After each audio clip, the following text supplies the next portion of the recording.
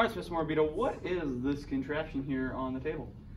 Well, this is one of our Cintiq drawing pads. It's uh, the latest in technology, and it actually mirrors the computer so that you can kind of see what you're working on and what you're drawing.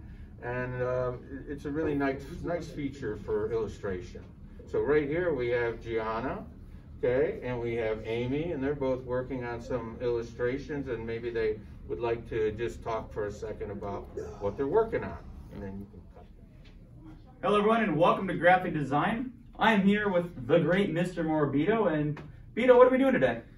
Well, today we're going to show our incoming juniors what we kind of do during the day sometimes. And for this project, uh, you'll be designing your own t-shirts for next year so that you can wear them uh, as your uniforms any day that you want. So we're going to go through the process and try to show you what a typical day might be uh, designing something like this. And also, uh, we'll hopefully, no. All right, Mr. Morabito, so what is the first step in making a shirt?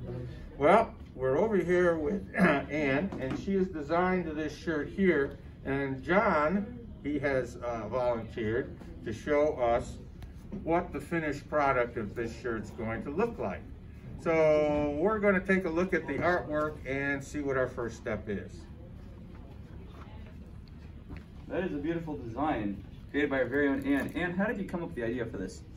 Well, well, I wanted to make sure that if I was going to wear something the entire year for every day, I wanted it to be make sure that I would actually want to wear it.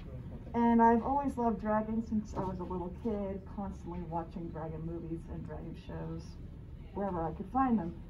And I had no idea the good, amazing reception that this design would get.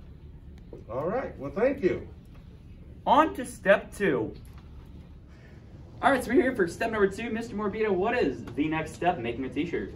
Well, the next step here is this machine right over here, uh, the Fusion Heat Transfer Press.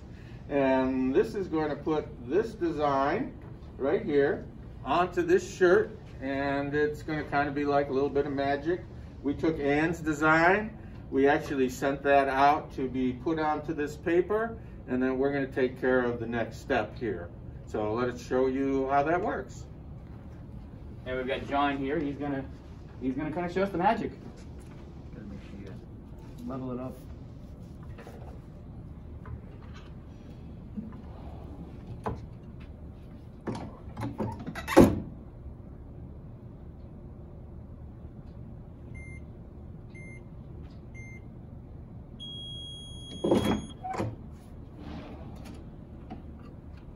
You can see that's a little bit warm, but he's peeling that off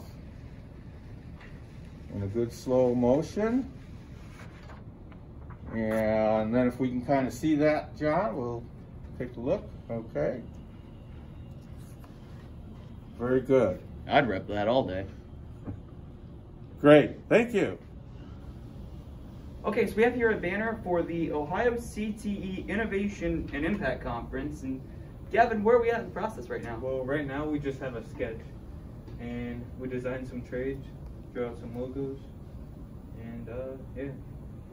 Well, a lot of times we get jobs for customers, for organizations. This one uh, is for the Ohio ACTE, which is an organization that supports our career tech education. So the students are developing this whole banner that's going to be posted up in one of the local high schools to thank our uh, sponsors that are down here. They're taking the logos, they're designing the whole format, and uh, eventually this will be printed as a big banner to represent all the local companies that have helped produce and help us uh, with career tech education. And don't worry, ladies and gentlemen, it's only a rough sketch, so these drawings will hopefully get better over time. All right, so I'm here with Alexis uh, with our poster making machine. Uh, kind of Bill's process of what you're doing. So basically, um, you will learn how to print out posters, and I created my design with Adobe Illustrator.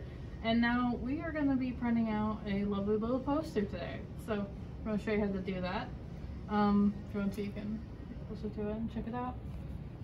All right, and uh, let's go on printing. Yep.